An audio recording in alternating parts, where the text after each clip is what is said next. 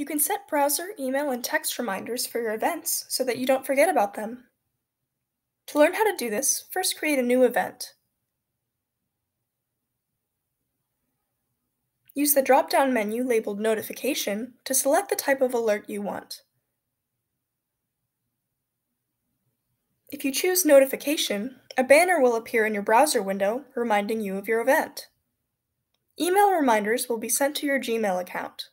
You can also receive a text message on your mobile phone as a reminder for your event. If you want to receive an SMS text message as an event reminder, you will first have to complete the mobile setup in Calendar. We'll explain this in another lesson.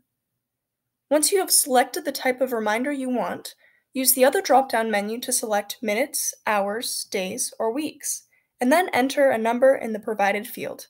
If you'd like to have multiple reminders for your event, just click the Add Notification link and go through the same process. It's important to note that these notifications are only for you, and that guests will need to set up their own.